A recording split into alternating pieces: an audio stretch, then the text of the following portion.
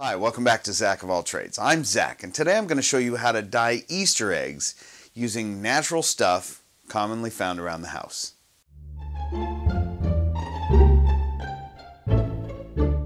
As part of an ongoing effort to ingest less mystery stuff in our house, we decided this year we'd forego the customary dye pellet in favor of something a bit more natural. I know, everybody loves a little dye pellet, and I'm no exception, but do you know what's in them? I don't. So why not give it a shot and use something that you know all of the ingredients? Here are the things that I used, the rules that I followed, and the results. Some of the results were pretty poor. Some of them were fantastic. The general rule is to use a cup of water to every cup of dyeing agent. Simmer it for 30 minutes, and there you have your dye. That being said, the first couple of things that I'm going to try aren't exactly going to follow that rule. I'm going to use onion skins for one color and avocado peels for another. Since onion skins are a little bit tough to quantify, I'm just going to go with until they're covered, which I think is going to be about four cups. Yeah, I think that'll be all right. For the avocado peels, I'm going to go with three cups.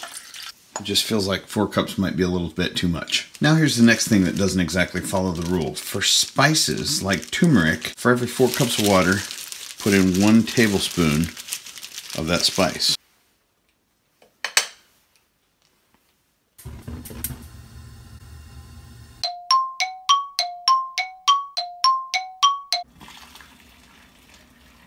Add a tablespoon of white vinegar for every cup of volume that you have.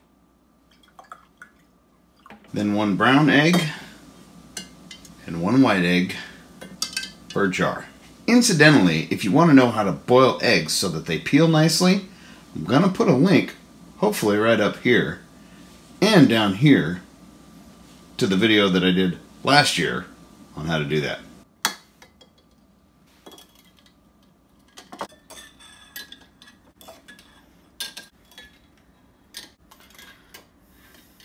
Now I'm going to let these beauties soak overnight and I'm going to bed. And now after about a 14 hour soak, here are the results. Hibiscus flower, geranium flower, avocado peel, onion skin,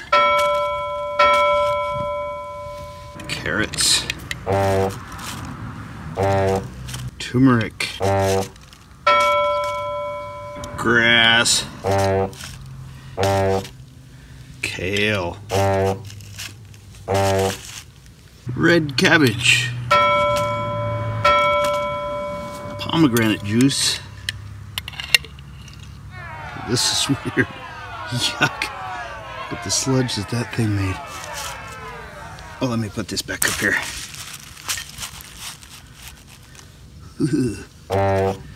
and lastly, but certainly not leastly, boots. Now, just for comparison's sake, here are our two control eggs next to the other ones, just to see how much that they did or did not change color. So some of these were pretty big failures, at least where it comes to being beautiful, perfectly colored, shiny Easter eggs. Some of them were surprising to me. Grass? I mean, how well does that stain your clothes? In an instant one of the more prevalent colors in nature, if not the, and I can't get it to color an egg green. I don't know. I don't know. But some of them were also very successful. I was very surprised with the onion peel. I didn't I read that that was a thing that you could color those eggs red with the regular old brown onion peel was far more successful than I expected. So the point being, there's all kinds of stuff out there that you can use to uh, to do something like this. I read about cayenne pepper. I think it was cayenne pepper is supposed to make a really cool orange. And there's just a myriad of things out there that will dye things different colors that are, you know, food stuff, natural stuff. It's certainly not as easy, certainly not a lot more work than putting a little color pellet in a cup of vinegar and water. But uh, it's a fun, fun experiment to do with the kids. Fun to see what uh, what produces what results. So I really appreciate you watching, and. Uh, while we're dyeing our eggs, while we're eating the ears off of our chocolate bunnies and such, let's do keep in mind precisely what we're celebrating at this time of the year. Happy Resurrection Day, everybody.